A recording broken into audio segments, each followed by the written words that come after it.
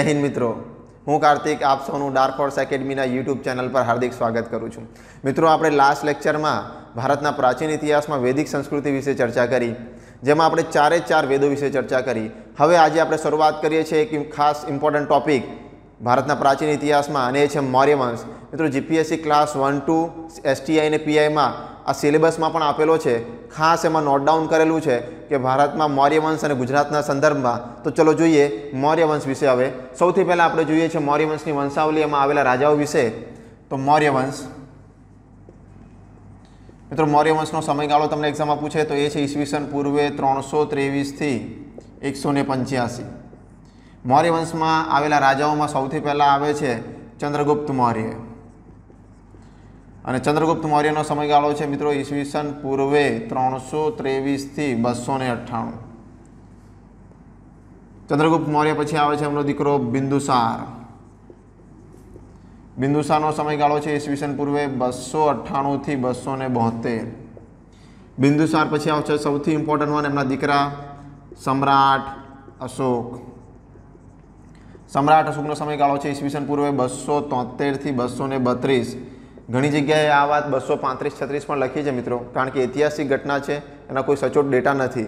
સમ્રાટ અશોક પછી આવે છે, એમનો દીકરો કૃણાલ, અને કૃણાલ પછી આવે છે સાંપ્રતિ.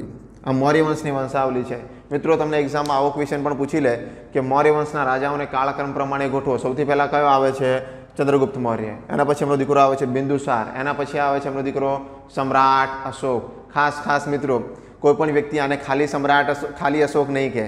કારણ કે મિત્રો આપણે બિસ્કિટને પણ પાર્લેજી કહીએ છીએ આ સમ્રાટ અશોક છે.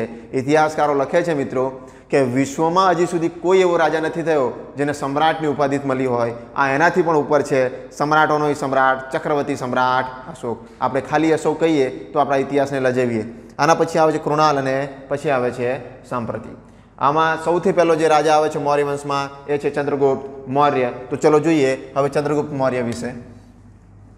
ચંદ્રગુપ્ત મૌર્ય. એનો સમયગાળો છે મિત્રો, ઈસવીસન પૂર્વે ત્રણસો ત્રેવીસથી બસો ને અઠ્ઠાણું. હવે ખાસ ખાસ મિત્રો, આપણે ચંદ્રગુપ્ત મૌર્યને ભણી એના પહેલાં ખાસ સમજાવી દઉં. આ જે ઈસવીસન પૂર્વેની જે વાત છે, એમાં ઘણા બધા વિદ્યાર્થીઓને કન્ફ્યુઝન છે. મિત્રો, અત્યારે હાલમાં આપણે વરસ લખીએ છીએ ઈસવીસન બે હજાર વીસ એકવીસ. જ્યારે આમાં જોશો આપણે, તો ઈસવીસનમાં પહેલાં નાનું આવે છે, વીસ, પછી મોટું આવે છે એકવીસ. આ બધી વાતો જે છે, ઈસવીસન પૂર્વ જેને આપણે બીસી ઇંગ્લિશમાં કહીએ છીએ બીસી એટલે કે બિફોર ક્રાઇસ્ટ જેમાં પહેલાં મોટું આવશે અને પછી નાનું આવશે. એટલે તમને ઘણીવાર એવું થાય, ઈસવીસન પૂર્વેની જે ઐતિહાસિક વાતો તમે વાંચો બુકમાં, અને તમને થાય પ્રિન્ટિંગ મિસ્ટેક છે? ના. જ્યારે પણ મિત્રો તમે વાંચો, કોઈ પણ વાત ઈસવીસન પૂર્વેની છે, તો એ ઊંધી ચાલશે. પહેલાં મોટું આવશે, પછી નાનું આવશે. બીસી એટલે કે બિફોર ક્રાઇસ્ટ આ બધી વાતો ઈસુ ભગવાનના જન્મ પહેલાંની છે. અત્યારે જે આપણે જે કહીએ છીએ ઈસવીસન, એટલે કે આફ્ટર ડેથ આને ઇંગ્લિશમાં કહેવાય છે એડી એક્ઝામમાં પૂછાયું છે, આનું ફૂલ ફોર્મ છે આફ્ટર ડેથ અથવા તો એનિનોડોમી જેમાં પહેલાં નાનું આવે છે, પછી મોટું આવે છે. આવું કેમ છે મિત્રો? તો અત્યારે જે તારીખો આપણે આખા વિશ્વમાં ફોલો કરીએ છીએ ને, એ ઈસુ ભગવાનના જન્મ પછીથી ફોલો કરીએ છીએ આખા વિશ્વમાં. મિત્રો, એના પહેલાં આખા વિશ્વમાં અલગ અલગ કેલેન્ડરો ફોલો થતા હતા. ધારો કે યુરોપમાં જુલિયન સીઝર કેલેન્ડર પછી મુસ્લિમ કન્ટ્રીઓ જે આરબ કન્ટ્રીઓ છે, એમાં ચાંદને જોઈને એ લોકો તારીખો નક્કી કરતા હતા, હિજરી સંવત. અને ભારતમાં વિક્રમ સંવત શક સંવત એટલે બધી જ જગ્યાએ અલગ અલગ કેલેન્ડરો હતા. પણ ઈસુ ભગવાનના જન્મ પછી આખા વિશ્વમાં એક જ કેલેન્ડર ફોલો ફોલો થયો.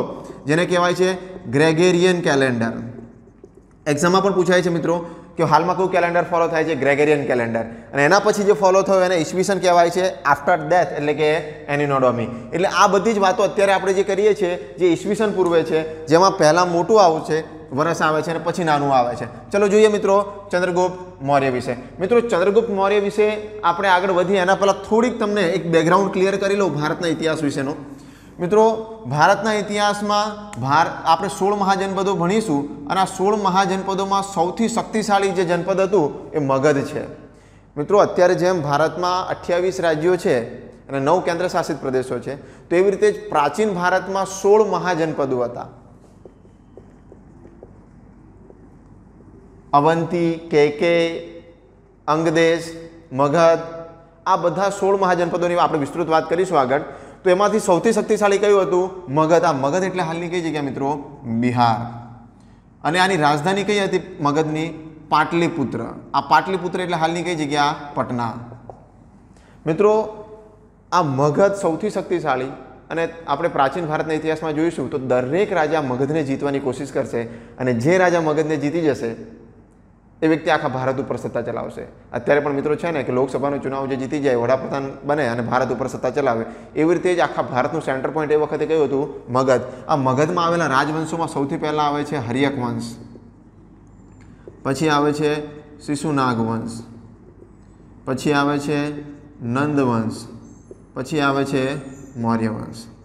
આપણે મહાજનપદોમાં જોઈશું કે હરિયક વંશના સ્થાપક હતા બિંબિસાર બિંબિસારે સ્થાપના કરી હરિયક વંશની, પછી આવે છે શિશુનાગ વંશ.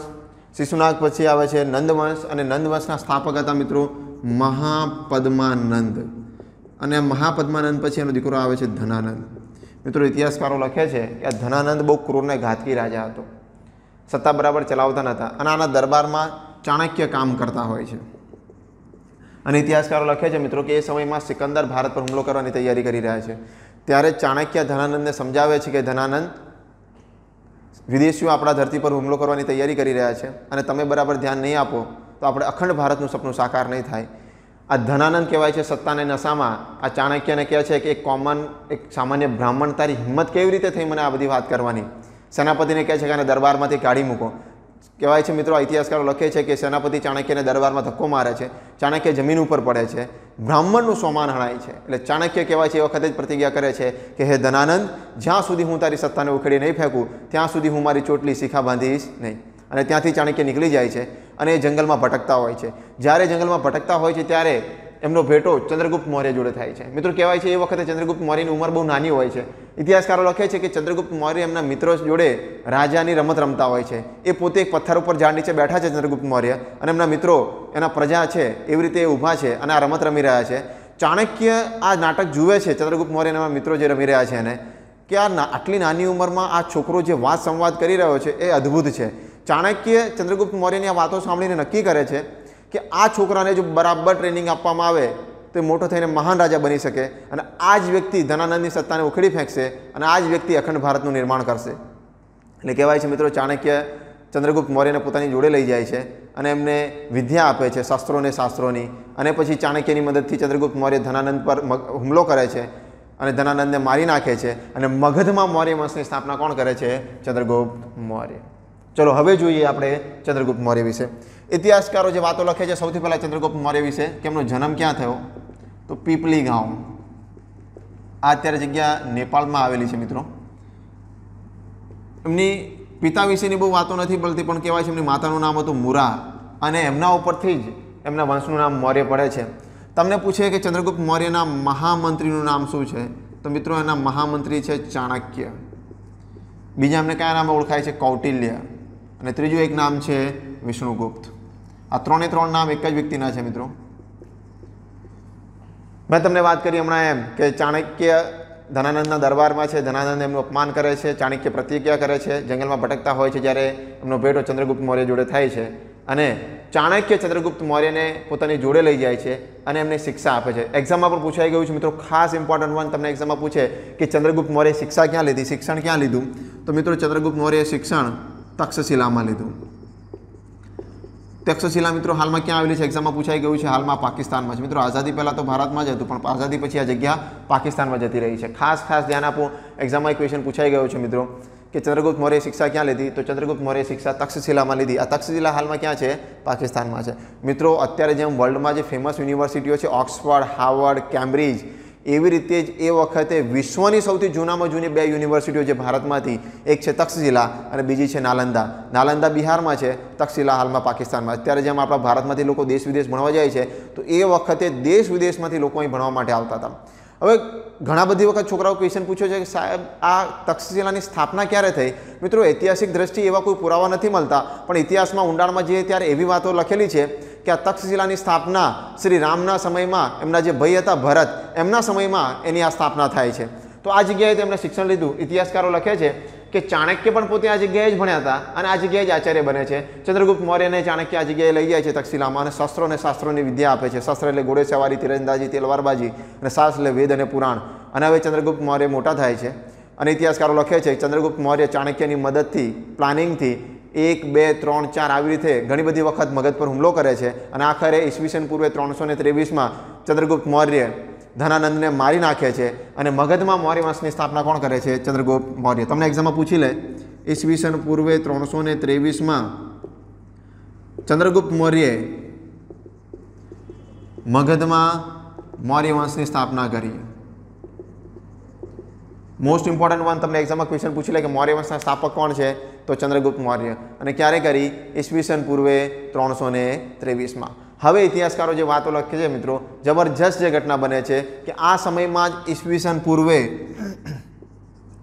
ત્રણસો ને છવ્વીસમાં સિકંદર ભારત પર હુમલો કરે છે. ખાસ ઇમ્પોર્ટન્ટ વન મિત્રો એક્ઝામમાં ક્વેશ્ચન પૂછાઈ ગયો છે. આપણા GPSC class one two PI અને એસટીઆઈમાં સિલેબસમાં છે ભારત પરના વિદેશી આક્રમણો. તો આ વિદેશી આક્રમણ થાય છે, ઇતિહાસકારો લખે છે કે ઈસવીસન પૂર્વે ત્રણસો ને છવ્વીસમાં સિકંદર ભારત પર હુમલો કરે છે.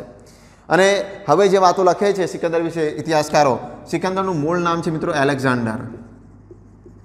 એનું નામ સિકંદર ક્યાં આવીને પડ્યું તમને પૂછી લે તો? એલેક્ઝાન્ડરનું સિકંદર નામ ભારતમાં આવીને પડે છે.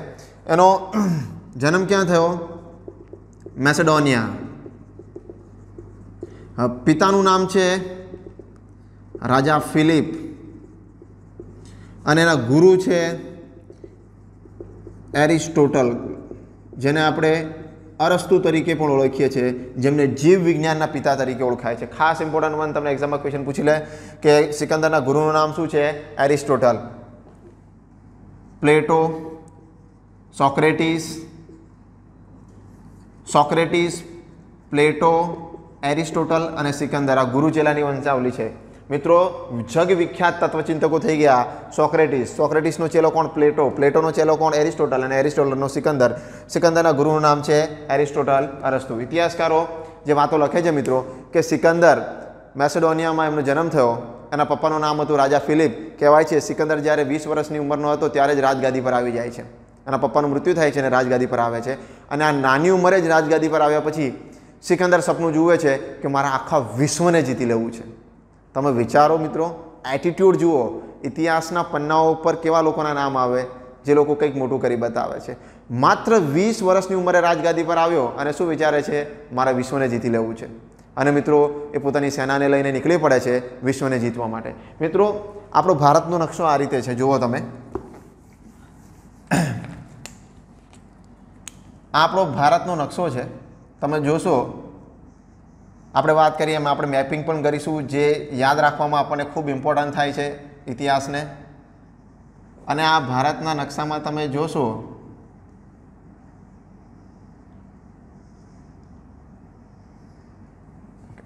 તો અહીં આગળ આપણું ખાસ બેસ્ટ ફ્રેન્ડ છે પાકિસ્તાન, પછી અહીં છે અફઘાનિસ્તાન, અને અહીં છે ઈરાન.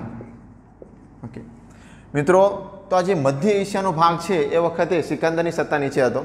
ઇતિહાસકારો લખે છે કે સિકંદર વિશ્વને જીતતો જીતતો હવે અહીં અફઘાનિસ્તાન આગળ આવી પહોંચે છે. તમે ભૂગોળમાં પણ જોશો મિત્રો કે અહીં ઉપર ભારતની ઉપર થઈ અને અફઘાનિસ્તાનમાં હિન્દુકુશ પર્વતમાળા છે. અને કહેવાય છે આ હિન્દુકુશ પર્વતમાળા આગળ કહેવાય છે આંભીકુમાર નામના રાજાની સત્તા હતી.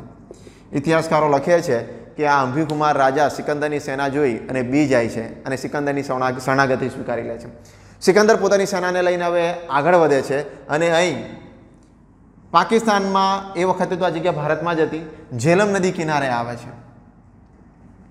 મિત્રો, ઇતિહાસકારો લખે છે કે અહીં ભારત અને પાકિસ્તાનની બોર્ડર ઉપર અહીં સિંધ પ્રદેશ છે અહીંયા આગળ ઝેલમ નદી છે. આ જગ્યાએ આવીને પહોંચે છે.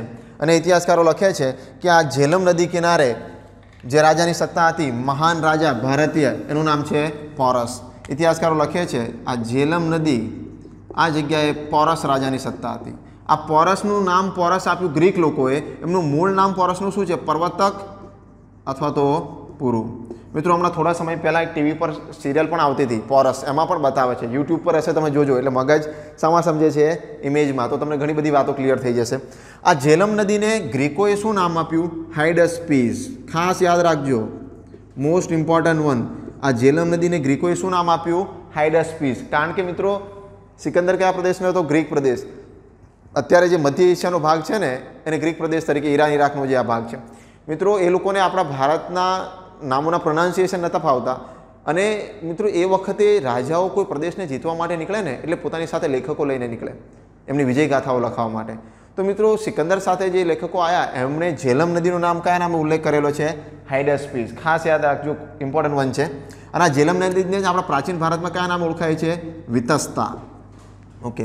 અને આપણા જે ભારતના રાજા હતા, પર્વતક પુરુ, એને આ લોકોએ શું નામ આપ્યું? પરસ મિત્રો, ઇતિહાસકારો લખે છે કે આ ઝેલમ નદી કિનારે સિકંદર અને પોરસ વચ્ચે જબરજસ્ત યુદ્ધ થાય છે. અને આ યુદ્ધને કયા નામ ઓળખાય છે? હાઇડેસ્પીઝનું યુદ્ધ. તમને એક્ઝામમાં પૂછી લે.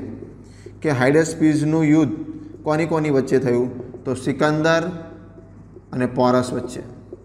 મિત્રો, આપણા ઇતિહાસની કરુણતા એવી છે કે આપણા ઇતિહાસને તોડી મરોડીને પ્રેઝન્ટ કરેલો છે. ઇટ્સ એ મેન્યુપ્લેટેડ એટલે પહેલાં હું તમને જે વાત બની, ખોટી, એની ગ્રીક ઇતિહાસકારો જે ખોટી વાત કરી, એની વાત કરું અને પછી જે સાચી ઘટના બની એની પણ વાત કરું.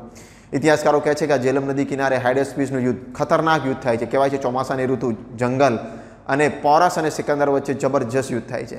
કહેવાય છે પોરસ જોડે ત્રણ હજાર ઘોડાની સેના, બે હજાર હાથીઓની સેના અને પેદલ સેના જુદી.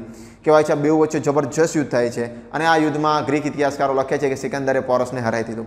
સિકંદરે પોરસને હરાવી દીધો, પછી કહેવાય છે સિકંદરના સૈનિકો પોરસને પકડીને સિકંદરની સામે લાવે છે. ત્યારે સિકંદર પોરસને પૂછે છે કે બોલ તારી જોડે શું કરવામાં આવે? ત્યારે પોરુષ એમ કહે છે કે એક યુદ્ધમાં હારેલા રાજા જોડે જીતેલો કરે એ કરો. મતલબ કે મને મારી નાખો. કહેવાય છે, આ વાત સાંભળીને સિકંદર ખુશ થઈ જાય છે અને કહે છે કે, વાહ, શું તારી બહાદુરી? જા તને, હું તને માફ કરું છું અને તારું રાજ્ય પાછું આપું છું. અને સિકંદર પોતાની સેના લઈ અને આગળ વધી જાય છે. અને ઇતિહાસકારો લખે છે, ઘણા લોકો ઇતિહાસકારો કહે છે, ઘણા બિયાસ, ઘણા કહે છે સિંધ નદી. કહેવાય છે, સિંધુ નદી આગળ જ્યારે સિકંદર પહોંચે છે, ત્યારે એના સૈનિકો બળવો કરી દે છે. કે હવે અમે આગળ નહીં વધીએ. સિંધુ નદીને પાર કરવાની ના પાડે છે. ઇતિહાસકારો લખે છે કે એના સૈનિકો એમ કહે છે કે અમે વર્ષોથી લડતા લડતા આવ્યા છે. હવે અમે ઘરે જવા માંગીએ છીએ. કારણ કે મિત્રો, વિશ્વને જીતવું એટલે કે નાની મોટી વાત છે. વર્ષોથી ઘરેથી નીકળ્યા હતા. એટલે એ કહે છે કે હવે અમે આગળ નથી વધવાના, થાકેલા છે, હવે અમારે ઘરે જવું છે. હવે સેના આગળ ના વધે તો સિકંદર એકલો શું કરે છે? એટલે કહેવાય છે કે સિકંદર પોતાના એક સેનાપતિ છે, સેલ્યુકસ નિકેટસ. જે પ્રદેશો એને જીતી લીધા હતા, આપણા ભારતના અને ભારતની બોર્ડરની પ્રદેશોના. તો એના પર ધ્યાન રાખવા માટે એમનો એક સેનાપતિ છે, સેલ્યુકસ નિકેટર. આ સેલ્યુકસ નિકેટરને થોડાક સૈનિકોને ત્યાં મૂકી અને એ પોતાના સૈનિકોને લઈ અને પાછો વળી જાય છે. અને ઇતિહાસકારો લખે છે કે જ્યારે આફ્રિકા ખંડમાંથી થઈને પસાર થતો હોય છે, ત્યારે એને એની સેનાને મલેરિયાનો રોગ થાય છે અને એનાથી જ એનું મૃત્યુ થાય છે. કારણ કે મિત્રો, એ વખતે તો જીવલેણ રોગ હતો, મલેરિયાની વેક્સિન શોધાઈ નથી. મિત્રો વર્લ્ડમાં જેટલા પણ ટોપ મોસ્ટ રોગો છે ને, એ બધા જ આફ્રિકાએ વિશ્વને ભેટમાં આપ્યા છે. ચિકનગુનિયા એડ્સ ઇબોલા મલેરિયા જલસા કરો મિત્રો, આફ્રિકાને અંધારિયા ખંડ તરીકે પણ ઓળખાય છે. એક્ઝામમાં પણ પૂછાઈ ગયું છે, આફ્રિકાને કયા નામ ઓળખાય છે? અંધારિયા ખંડ તરીકે. અને મિત્રો, જ્યારે સિકંદરને ખબર પડી કે હવે મારા શ્વાસ નહીં બચે, હું નહીં જીવી શકું, ત્યારે આ સિકંદરે આ વિશ્વને બહુ જબરજસ્ત મોટો સંદેશ આપ્યો. એણે એના આજુબાજુના લોકોને કીધું કે હવે હું મરી જાઉં, ત્યારે મારા બેઉ હાથ કોફિન કબરની બહાર રાખજો. કારણ કે આ વિશ્વને પણ ખબર પડે કે વિશ્વ જીતવાવાળો પણ વ્યક્તિ જોડે કંઈ લઈ જતો નથી. ખાસ મિત્રો, આપણે તમારે મારે સમજવા જેવી બાબત છે કહેવાળે કીધું છે, બરાબર સાંભળજો કે તમે કમાયેલા પૈસાના તમે માત્ર ચોકીદાર છો, એના માલિક નહીં. મિત્રો, આપણા પપ્પાએ જે પૈસા કમાયા, આપણે ઉડાડ્યા. આપણે જે કમાઈશું, આપણી નેક્સ્ટ જનરેશન ઉડાડશે. મિત્રો, તમે ગમે તેટલા પૈસા કમાશો, પણ જરૂર હોય ત્યારે પરિવારમાં કે મિત્રોને કામ નહીં લાગે, તો એ પણ કંઈ કામના નથી. સિકંદર વિશ્વ જીતી ગયો હતો, પણ એ પણ કંઈ જોડે લઈ ગયો નહીં. આ વાત મેં જે તમને કરી, એ ગ્રીક ઇતિહાસકારોએ કરી છે. પણ મિત્રો, ઇતિહાસકારો લખે છે કે આખા વિશ્વમાં કોઈએ સૌથી નિષ્પક્ષ ઇતિહાસ કોઈએ લખ્યો હોય, તો પ્લેટો. અને પ્લેટો એમ કહે છે કે સિકંદર અને પોરસ વચ્ચે ઝેલમ નદી કિનારે હાઇડસ્પીસનું યુદ્ધ થાય છે. ચોમાસાની આ ઋતુ સિકંદર ઘોડા પર હોય છે અને પોરસ હાથી ઉપર હોય છે અને જબરજસ્ત યુદ્ધ થાય છે અને આ યુદ્ધમાં સિકંદરના સૈનિકો ખતરનાક રીતે હારી જાય છે અને પોરસ હાથી ઉપર બેઠા બેઠા જે ભાલો ફેંકે છે એ સિકંદરને જઈને વાગે છે. અને એ ઘાવ એટલો ખતરનાક હોય છે કે એનાથી સિકંદરનું મૃત્યુ થાય છે. ઇતિહાસકારો લખે છે, પ્લેટો જેવા જે નિષ્પક્ષ ઇતિહાસ લખ્યો છે એમને, કે સિકંદરના સૈનિકોનું મનોબળ ખતરનાક રીતે તૂટી જાય છે. એટલે એ આગળ વધી નથી શકતો અને ત્યાંથી જ પાછું ફરી જાય છે.